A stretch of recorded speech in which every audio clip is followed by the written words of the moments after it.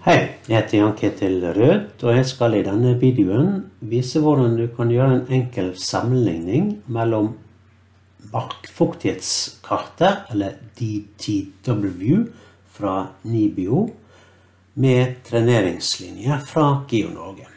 Her vises da markfuktighetskartet for nedbørsfeltet Leirfossen i Trondheim.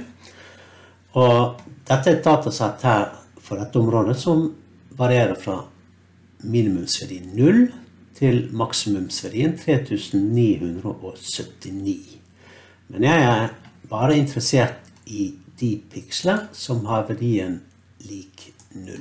Så jeg kan åpne verdiattributtabellen for dette rasteret. Det er integerverdier, så vi vil ha en sånn attributtabell for, for disse. Og hvis jeg nå merker alle de som har verdi 0 slik, ganske mange som har pikselverdi 0.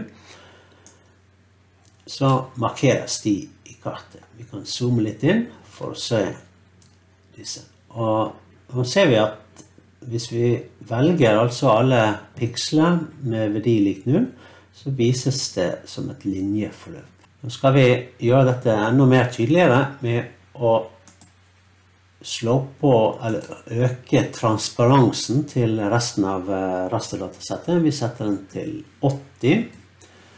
Og da ser vi at vi ser mer av dette bakgrunnsdatalaget. Og da kan vi også slå på treneringslinjen fra GeoNorge, slik at vi kan visuelt sammenligne disse to linjeforløpene.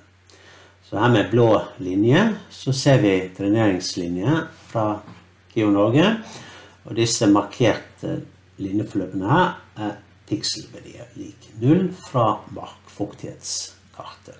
DTV pikselverdi 0 betyr altså at her er avstanden til vannmettet jord lik 0.